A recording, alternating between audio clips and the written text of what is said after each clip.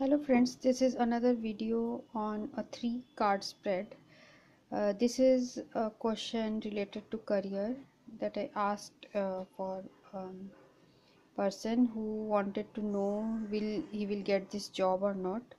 So the cards i got are king of clubs six of spades and jack of uh, diamonds. So how we will interpret this?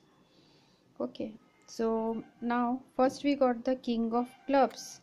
King of clubs represents an active man friendly man and um, he is active and friendly and he is looking in the left side. So this means that uh, he uh, he thinks that he will get the job and uh, he needs the job the second card we got is the six of spade. Six of spade is uh, telling uh, us about some caution and some type of uh, ending.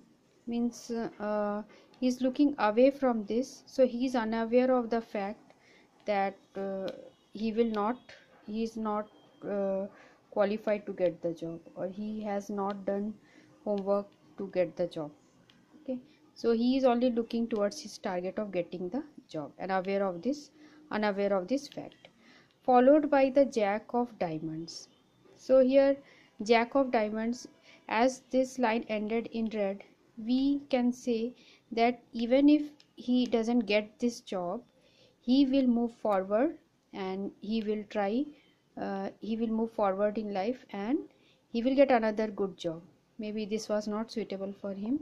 So uh, i will say that he will not get this job but there is a hope for the future that he will get another good job as it ended with the jack of diamonds. Diamonds represents money financial progress as well as a man who is uh, mm, looking uh, man who looks towards future in a, in a positive way.